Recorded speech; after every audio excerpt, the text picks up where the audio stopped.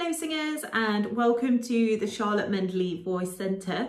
Today we're going to be looking at stretches for singers. So grab some space and let's get started.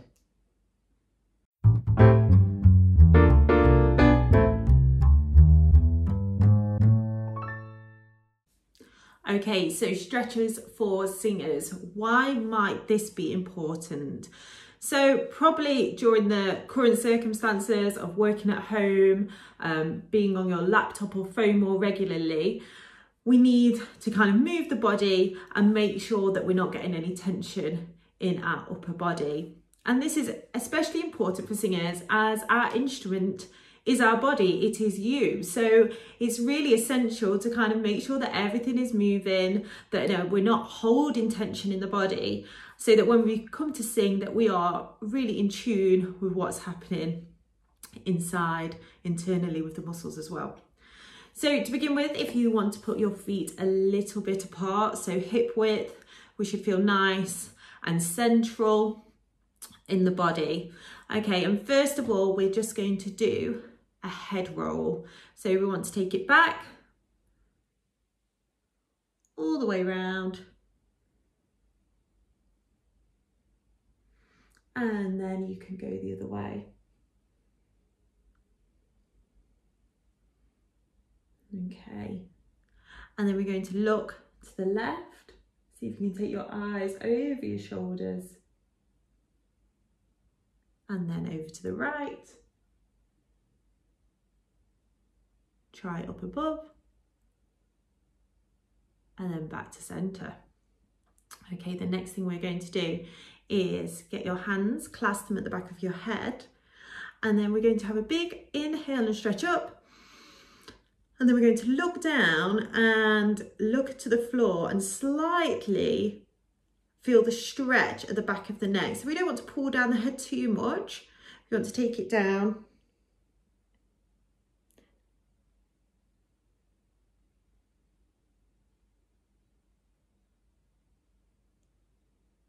and then release. So whilst you're taking the head down, you can always pivot to the right or the left to feel a little bit more stretch down the right or left side of the neck. So let's just do that again. So hands behind the head. Inhale and exhale, look down.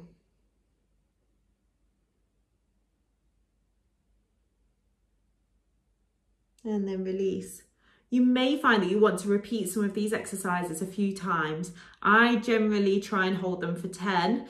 Um, that might be too much to start off with, but you can always build up to it or you might even want to do a little bit more. So from there, we're going to do the shoulders. Nice, simple roll back. We'll take four back. And then we'll take them forward. Here's some crunches on mine. so we're going to take the arm across, probably did this in PE, where you pull across, but then just look over that right shoulder. And then release, and then we'll do the other side. So nice pull across, look over there, to the left, and then release. Okay, just to open up these shoulders a little bit more, we're going to take our right hand and try and clasp underneath the shoulder blades. So some of you might not be able to reach. This is really nice for opening up the shoulders, especially if you've been sat at a desk or over a phone or a laptop for too long. And then go to the other side. So I always find that I can't do my left side as well as my right. Everything's a work in progress. and if you want to hold that for another 10. So when we do warm-ups in our ensembles or in our choirs, we often do some of these exercises just to get the body kind of relaxed and focused as well. And then you can release. So hopefully you'll feel a lot more open in them shoulders and in the neck. So give these a go. If you need, if you need like a five minute break whilst you're working, you know, jump on this this video and see if you can just kind of open up that neck and them shoulders.